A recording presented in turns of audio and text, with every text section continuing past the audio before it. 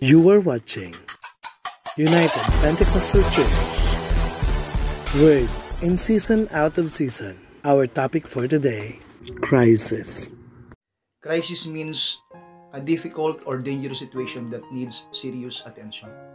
Tayo po ay naharap ngayon sa iba't ibang uri po ng krisis. Krisis hindi lang sa ating pamilya, hindi lang sa hanap buhay, hindi lang sa ating bansa, kundi sa buong mundo.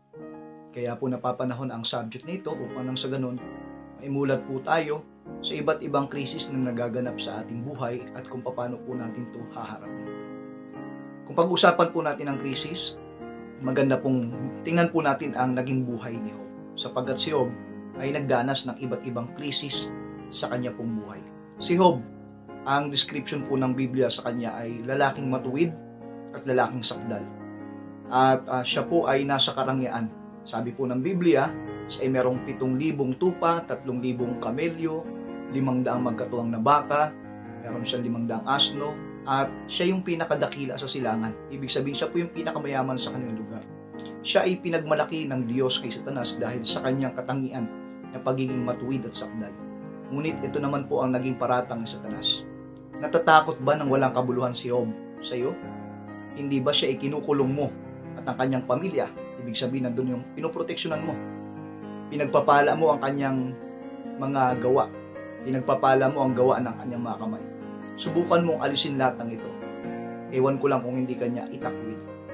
Ito po yung paratang ng Diyablo. Kaya dito makikita po natin. Minsan, dumarating yung krisis, pagsubok sa buhay natin, para makita, malaman po talaga kung tayo ay totoo bang nagtitiwala o sumasampalataya sa Panginoon sa panahon na hindi maganda yung pinagdadaanan natin sa buhay. Si Job, dumating yung pagkakataon, sinu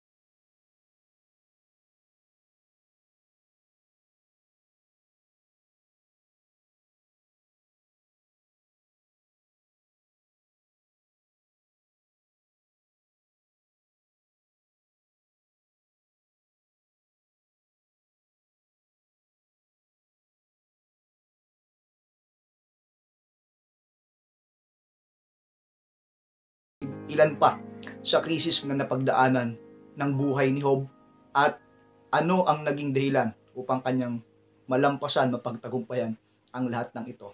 Muli po, sa araw po ng bukas, tayo ay magsama-sama upang ipagpatuloy po natin ang atin pong subject na ito. Iniwan ko po ang kapayapaan at pagpapala po ng Diyos. Hanggang sa muli, God bless us all. In Jesus' name.